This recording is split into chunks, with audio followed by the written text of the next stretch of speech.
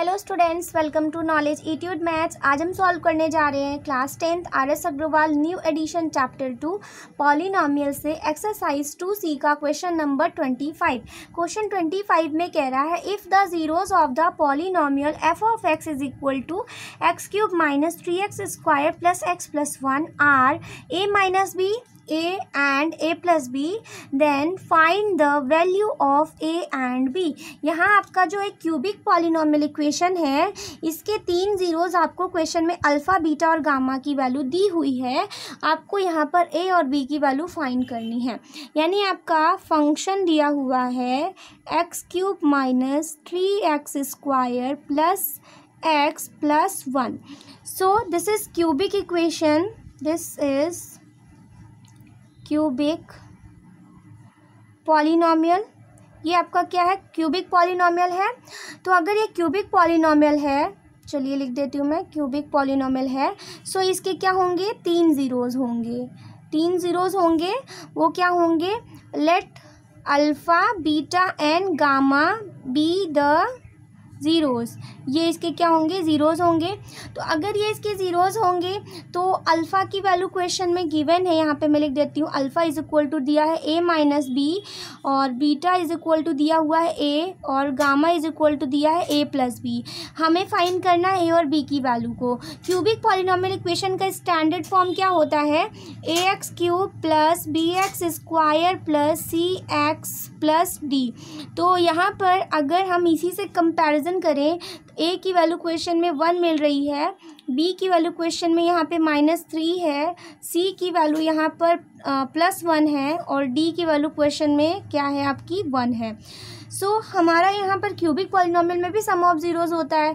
तो अगर हम यहाँ पर alpha plus beta plus gamma करते हैं तो इसकी वैल्यू आती है माइनस बी अपॉन ए के इक्वल जहाँ पर बी आपका क्या होता है? Coefficient of X coefficient of B क्या है? एक्स स्क्वायर तो यहाँ पे मैं लिख देती हूँ coefficient of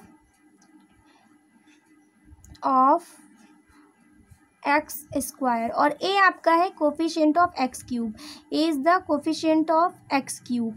तो alpha plus beta plus gamma, alpha की वैल्यू है ए माइनस बी, बीटा की वैल्यू है ए और गामा की वैल्यू है A plus B is equal to minus में बी की वैल्यू है आपकी माइनस थ्री और ए की वैल्यू क्वेश्चन में कितनी है आपकी वन है। तो यहाँ पर हम रखते हैं बी से बी कैंसिल कर देंगे ए ए ए तीन बार है तो थ्री ए हो जाएगा। Minus minus plus three A three से थ्री कैंसिल हो गया तो A is equal to one आ गया। सो so, क्वेश्चन में ए की वैल्यू वन आ चुकी है जो कि हमें फाइन करनी थी। एक हमने फाइन कर लिया। देन हमें अब बी की वैल्यू भी फाइन करनी है। उसके लिए हम क्या करते हैं? इनका प्रोडक्ट कर लेते हैं। तो अल्फ़ा बीटा गामा का प्रोडक्ट क्यूबिक इक्वेशन में माइनस डी अपॉन ए के इक्वल होता है। जहाँ आपका डी क्या होता है? कांस्टेंट टर्म होता है और ए होता है coefficient of X cube.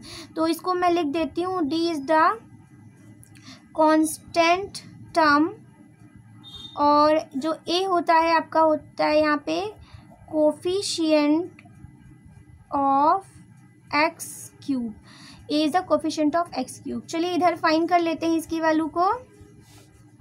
So alpha into beta into gamma is equal to minus में डी की वैल्यू क्वेश्चन में है वन ए की वैल्यू क्वेश्चन में है वन तो अल्फ़ा यानी ए माइनस बी बीटा यानी कि ए और गामा यानी कि A plus B is equal to minus में वन अभी अभी आपने ए की वैल्यू वन फाइन की है तो वो यहाँ पे पुट कर दीजिए.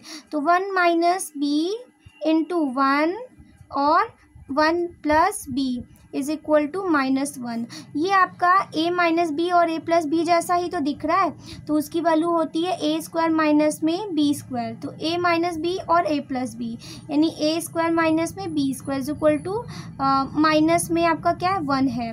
सो so, वन का स्क्वायर तो वन ही होता है माइनस वन है इधर आएगा तो प्लस में आ जाएगा बी स्क्वायर उधर ट्रांसफ़र होगा तो प्लस बी स्क्वायर हो जाएगा तो two is equal to B square there four B square is equal to two then B is equal to under root of plus minus में two so यहाँ पर हम देख सकते हैं ए की वैल्यू वन आ रही है और बी की वैल्यू क्वेश्चन में प्लस माइनस टू आ रही है. तो यही आपका आंसर हो जाएगा क्योंकि आपसे यही क्वेश्चन में पूछा था.